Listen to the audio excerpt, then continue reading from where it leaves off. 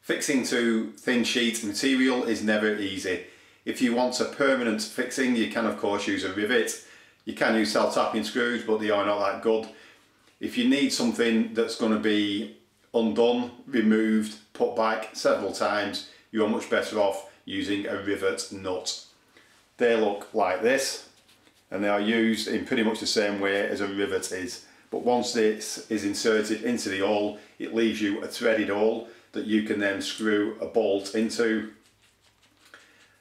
and that is there permanently. You can then remove the bolt and reinsert the bolt as many times as you want. It leaves a really good awl in the sheet material that is permanent. So then you can put your bolt in, fix whatever you're fixing to it, come along a few months later, remove it, absolutely no problem at all. If you're doing that with self-tappers, eventually the awl enlarges and the self-tapper will not work. These are a fantastic way of fixing to thin sheet materials. If you wanted to fix to something like Unistrut, on the side there it is a little bit too thin to tap successfully.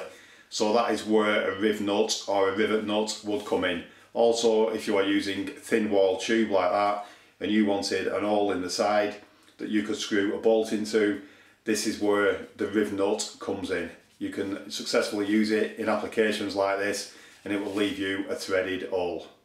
Normally you'd buy it as a kit, so that is the riv nut machine. That is actually a riveter as well, so you can swap the head onto that and then you can use it for inserting normal rivets. These are the rivet nuts. These do have quite a few different names. Uh, you, they are called nutserts, riv nuts, rivet nuts. They have several different names. We're going to be using these, which are the M6 size. So I'll now demonstrate how to use them in a piece of thin sheet material. You also get several mandrels with the machine for inserting the different size of rivet nuts. I'll now give you an example of where you could use rivet nuts. Imagine that this piece of thin steel is on a large machine and this is an access awl. So we need this bolt into this but we need to be able to remove it all the time.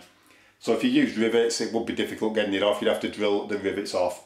So I've already drilled two holes there which align perfectly with the two holes on this guide at the front. So we're now going to insert two riv nuts in there and then I'll show you exactly how these work.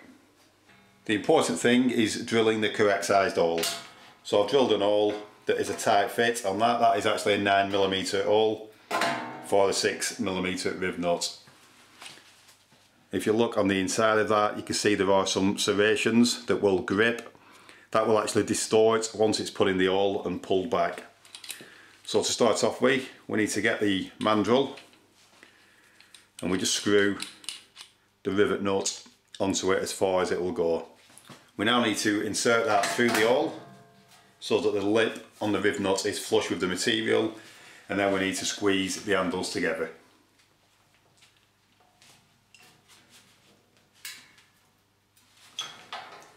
Once you've done that, you can then unscrew this part, which will unscrew the rivet nut off the mandrel.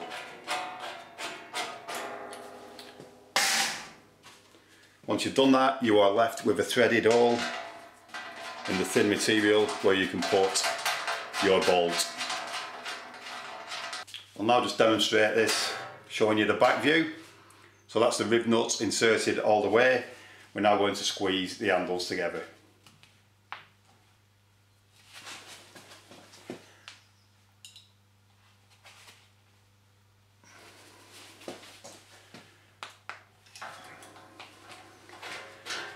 can then unscrew the mandrel. That's a piece of material now with the two riv nuts inserted. You can then put the guide on the front of that and we can screw in our bolts that will hold it in position.